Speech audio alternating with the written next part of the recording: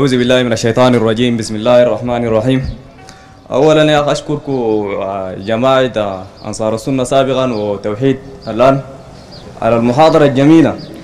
والله حقيقة إنه أنا استفدنا الليلة من المحاضرة دي كثير في توضيح وال- توضيح الدين والحاجات ال... لكن أنا بس داير أقدم لكم نقد شوية كده إنه الليلة أبتو وأنصار السنة وحزب الأمة القومي. ثلاثة تنظيمات شغالين فوق يوم واحد. جماعتين وتنظيم واحد شغالين فوق يوم واحد.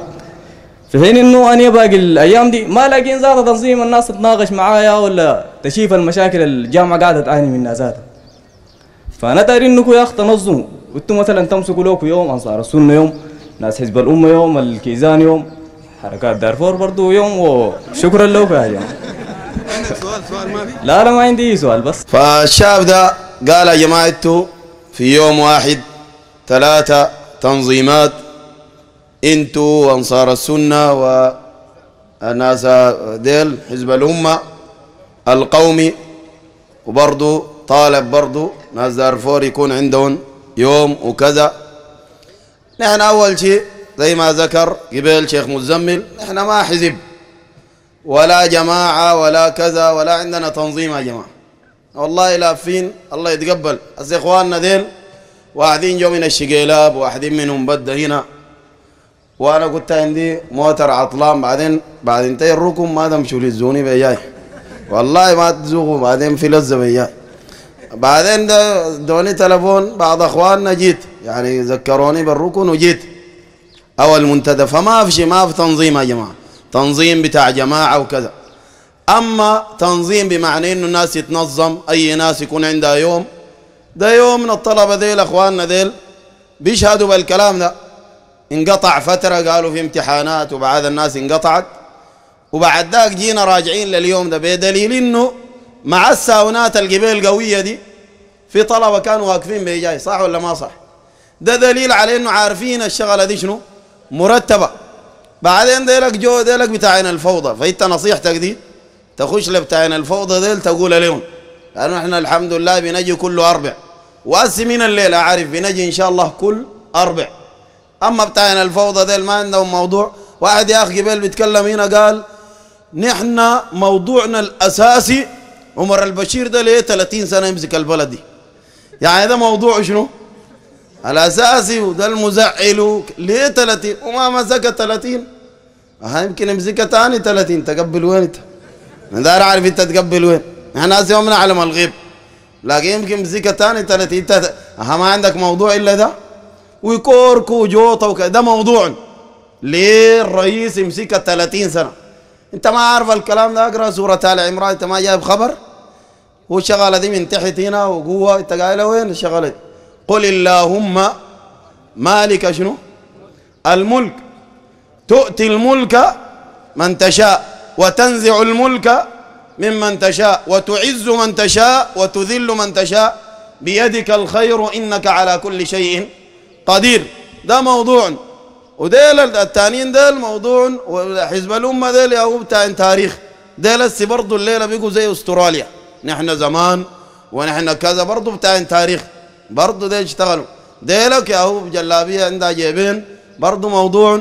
كرري تحدث عن رجال كالأسود الضارية. خاضوا اللهيب وشتتوا كتل البغاة الباغية ولا شنو؟ الغزاة الباغية. هو وعبد اللطيف وصحبه. ده موضوع. يا تاريخ ونحن البلد دي وإلى آخره. ودارين تاني يمسكوها. ونحن بنلاوز والزول المؤمن ده حصيف وكيس. إذا تمسكها أنت عندك جيبين منسي واحد بقدام واحد ورا. يمسكوك كيف انت ذاته؟ شغلتك بالجوطلين بعدين. وأما ديل يا جماعة أنا وريتك لهم ديل صار قيل وراهم سنارات. نازل أخ بتاع المركز عام ديل بتاع اللخبطة. وأنا قبل قايلون اصلاح والاصلاح والمركز عام كلها لخبطة زايا ناس غلبتنا الشغلة يا جماعة. كانوا زمان توحيد وسنة ويدعون بالشباك.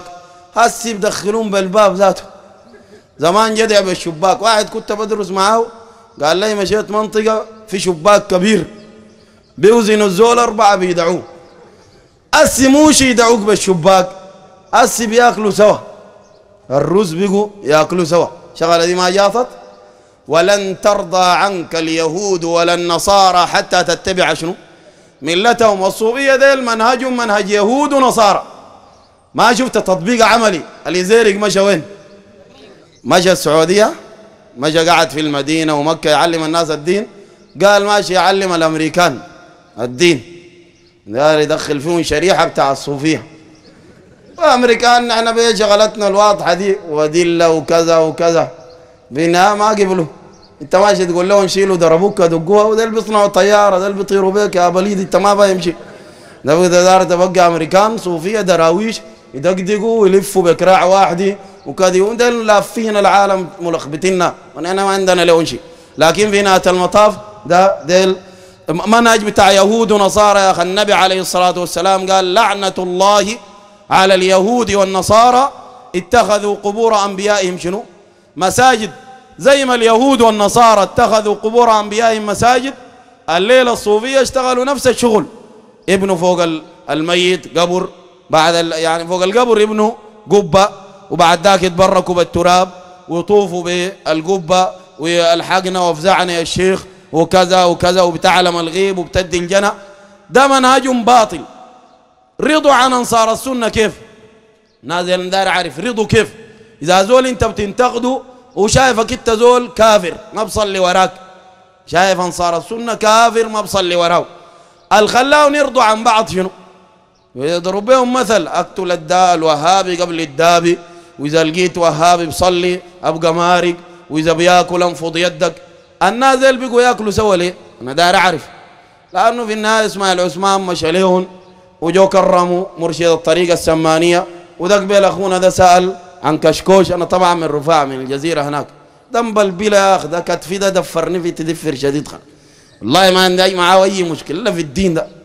يدفرني يدعني بالباب بغادي وكذا وأنا عندي رد عليه واسمع بتستفيد منه إن شاء الله. تعرف كشكوش ده عنده ستة مسائل ملخبطة فيها لخبطة عجيبة جدا.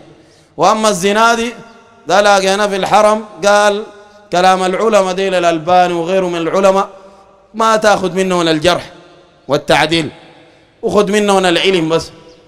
يعني الجرح والتعديل ما تاخذوا من العلماء تاخذوا من منه إنت أخونا بتشوفوا الناس زي الزهاد وتشوفهم كلام سمح تنص الآية 17 كش ده جبت له 17 ولا 18 لا سيب كورك. وهو بيقول تنص الآية كذا وكذا. جينا ناقشنا بأدلة وكذا بقى يضارب في نهاية المطاف يدفرك. ويمرقك برا ويمشي يشتكينا لأبهاتنا وأهلنا وإلى آخره. نازل عندهم لخبطة في غير التوحيد. اللي التوحيد بجنبه ما أنت بتشوف إنه التوحيد. في غير التوحيد أمشي أزالون. زنادي ده قلت له يا اخ محمد مصطفى. محمد مصطفى. سب الصحابة وقال قال لي ما سمعته. ولا عارفه قلت له خلاص هسه أعرفه. تاني لو جاء ما تقدمه. والله قلت له لو جاء تاني ما تقدمه. بعد فترة تانية أثنى عليه محمد مصطفى. هو ذاته زنادي ده ما تغتر بيون الناس دي بتشوفون زهاد نحن قعدنا معاهم. والزهد ده ما ترك القروش بس. لو تشوف الزنادي ما دار قروش ما دار كذا وزول مسكين ما عنده تلفون وكذا. الزهد ده ما ترك القروش بس يا جماعة. الزهد ده القحطاني قال والزهد عند أولي النهى زهدان زهد عن الدنيا وزهد في الثنى طوبى لمن أمسى له الزهدان. يزول ما داير قروش ولا داير نساء ولا داير كذا. لكن ما داير يمرق من الجماعة دي.